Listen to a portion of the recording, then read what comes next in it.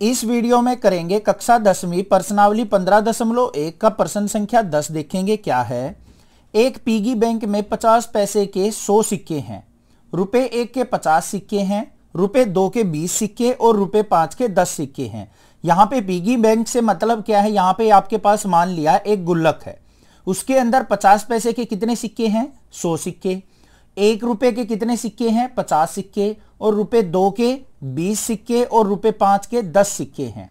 यदि piggy bank को हिलाकर उल्टा करने पर कोई एक सिक्का गिरने के परिणाम समप्रायिक हैं तो इसकी क्या प्रायिकता है कि वह गिरा हुआ सिक्का पचास पैसे का होगा, और दूसरे भाग में हमने क्या निकालना है? रुपए पाँच का नहीं होगा। तो सबसे पहले इसमें देखो, हमें क्या दिया गया है? पचास पैसे के सौ सिक्के हैं तो लिखेंगे पचास पैसे के पचास पैसे के सिक्कों की संख्या, सिक्कों की संख्या। इस तरीके से लिखेंगे, कितने हैं हमारे पास? सौ हैं। उसके बाद एक रुपए के हैं तो एक रुपए के सिक्कों की संख्या, वो कितनी है हमारे पास? पचास सिक्के हैं एक रुपए के। और दो रुपए के सिक्के कितने हैं? वो भी लिखेंगे। दो रुपए के सिक्कों की संख्या। बीस सिक्के हमारे पास दो रुपए के हैं। उसके बाद पाँच रुपए के भी हैं। तो पाँच रुपए के सिक्कों की संख्या, वो कितनी है? दस। अब हम ये देख लेंगे कि पीगी बैंक के अंदर कुल कितने सिक्के हैं। तो कुल सिक्कों की संख्या लिखेंगे यहाँ पे, कुल सिक्कों की संख्या। क्या हो जाएगी? हमारे पास इसका सम कर लेंगे, जोड़ कर लेंगे। 100 और 50 150 170 और 10 180 तो हमारे पास कुल सिक्के कितने हो गए? यहाँ पे 180 हो गए। पहले भाग में हमने क्या निकालना है? हमें प्रायिकता निकालनी है कि जो सिक्का निकले, वो 50 पैसे का होना चाहिए। तो किस तरीके से निकालेंगे यहाँ पे सबसे पहले लिखेंगे हम 50 पैसे के सिक्कों की संख्या, सिक्कों की संख्या। हमारे पीगी बैंक में कितने सिक्के हैं? टोटल पचास पैसे के सौ सिक्के हैं। और कुल सिक्के हमारे पास कितने हैं? कुल सिक्के, या फिर कुल सिक्कों की संख्या हमारे पास है 180 अब हमें किसकी प्रायिकता निकालनी है? पचास पैसे के सिक्के की। पचास पैसे का सिक्का। इसकी प्रायिकता ज्ञात करनी है। तो कैसे निकलेगी? यहाँ पे लिखेंगे हम पचास पैसों के सिक्कों की संख्या। पचास पैसे के सिक्कों की संख्या या फिर सिक्के की संख्या, और इसको किससे भाग कर लेंगे हम? कुल सिक्कों की संख्या से। क्या लिखेंगे यहाँ पे? कुल सिक्कों की संख्या। सिक्कों की संख्या। इससे भाग कर लेंगे। तो हमारे पास प्रायिकता आ जाएगी। क्या आएगी? देखते हैं यहाँ पे। प्रायिकता पचास पैसों की। पचास पैसों की। बराबर है। पचास पैसे के कुल कितने सिक्के थे हमारे पास? सौ। भाग में कुल सिक्के कितने हैं? एक सौ अस्सी। अब इसको भाग कर लो। ज़ीरो से ज़ीरो कट गया। दो से काटेंगे तो दो पंजे दस, दो नीम अठारह। तो प्रायिकता क्या आ गई हमारे पास? पचास पैसों के सिक्कों की। पचास पैसों के सिक्के। इसकी प्रायिकता क्या आ गई हमारे पास?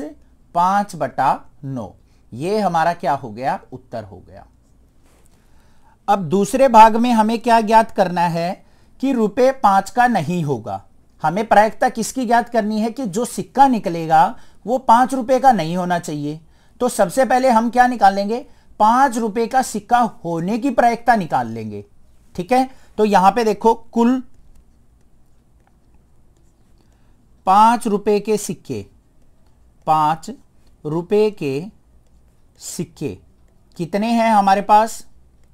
कुल पाँच रुपए के सिक्के दस हैं। और कुल पिगी बैंक में सिक्कों की संख्या क्या है?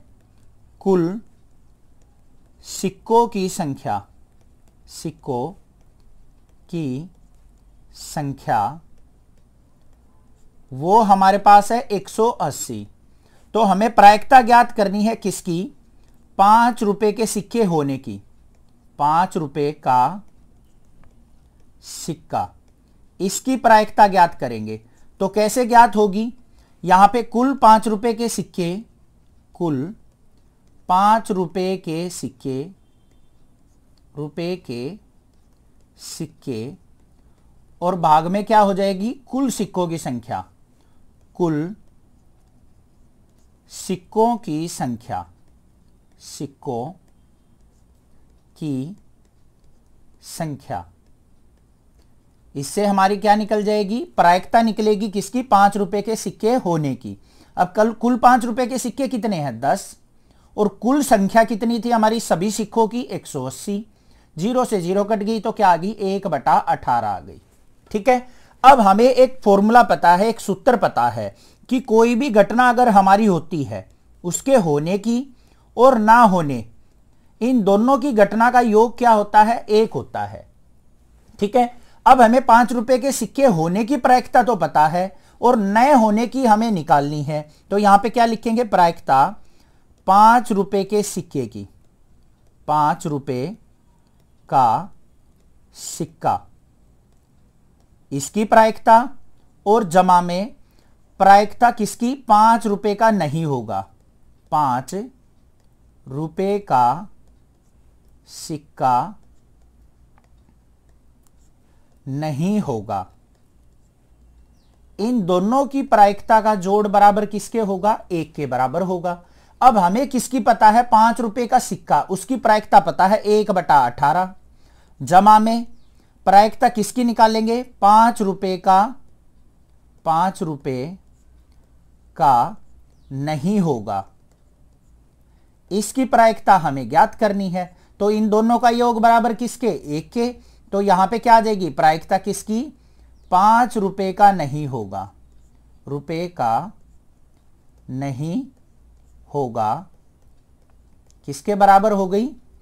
एक घटा, ये एक बटा अठारह है दाइनी साइड जाएगा तो एक बटा अठारह। यहाँ पे एक मान लेंगे। अब इसका लघुत्तम समापर्तक लेंगे तो कितना आ गया यहाँ पे? अठारह। अठारह को एक से बाग किया अठारह, एक से गुना किया अठारह। घटा में, अठारह को अठारह से बाग किया एक और एक की गुना एक। तो अठारह घटा एक क्या हो गया? सत्रह बटे अठारह हमारे पास क्या आ गया? उत्तर आ गया। आ गया समझ में? चैनल को ज़रूर सब्सक्राइब कर लेना।